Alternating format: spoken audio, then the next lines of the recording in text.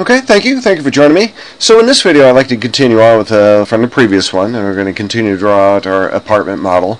The apartment model I'm going to be using as a template right now is going to be the apartment that uh, we used last week in AutoCAD for in-class evaluation. We're going to draw something very similar. I'm going to show you how to set that up. So now that we have our walls drawn, um, excuse me by the way, now that we have our walls not drawn, we haven't drawn anything, we don't draw anything in Revit.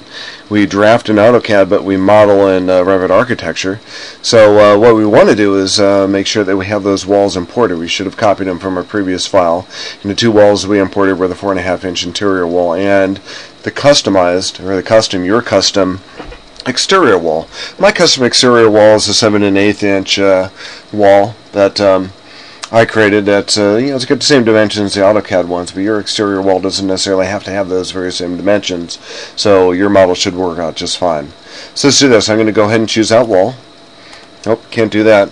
Our properties palette is showing us a floor plan because there's nothing really here selected, but as soon as I select a wall, it's going to show us uh, that wall here and I want to go ahead and select the right one but let's start at the top and go to our properties palette or our I'm sorry our ribbon and take a look at this we want to make sure we're going to be drawing a line which you'll see up here in the modify place wall green tab that's all lit up here go to your options bar uh, unconnected probably not we don't want to do unconnected you know, I think we do. This is our exterior walls. So let's do that. I think the requirements of the evaluation is going to be 15 feet. So let's go ahead and uh, change that.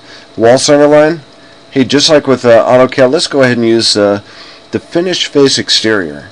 So remember when we drew those lines in AutoCAD, the two lines that represent the inside and the outside of the, of the, of the wall? Well, the outside wall is going to be the finished face uh, exterior, and the inside line is going to represent the finished face interior of that wall. So we're going to follow that same format. So instead of wall center line, we're going to go to finished face exterior, we're going to draw everything. If we draw a line up, everything is going to be offset to the right of that, and that will be the inside of the wall. And the line we draw is going to be the actual outside of the wall as, as being represented when we put this out in our floor plan, if that makes sense. We want to chain it so it stays uh, connected. We don't want to have any offsets.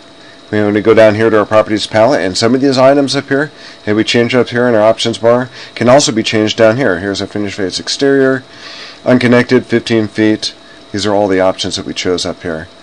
More of them up here than are down here, but uh, those are options nonetheless and they appear in different, two different places. So, let's go ahead and choose our right wall. It's going to be our exterior wall. I choose my exterior 7 and 8 inch clapboard siding, wood stud drywall wall, and we'll start drawing. So I'm going to make this wall probably about maybe 20, 21 feet or so up. We can't really see that a whole lot, so I'm going to scoot in with my middle mouse button. This one's about 39 feet, so I'm going to go a little bit uh, longer than that and bring this one down, and with that polar tracking, I'm going to pick up that uh, wall over there and pick up the very end of that wall. So now, dimensions. Kind of tricky, but let me show you how to put these dimensions. Let's start with this one first. The first thing you do is you put in uh, your by clicking on the symbol you make a temporary uh, permanent dimension of your temporary dimension. Remember your dimensions? Uh, your dimensions are defined initially by um, uh, listening dimensions as you draw a line out. That's a test question by the way. Then it turns into a temporary dimension once your line is drawn and you're beginning to model something.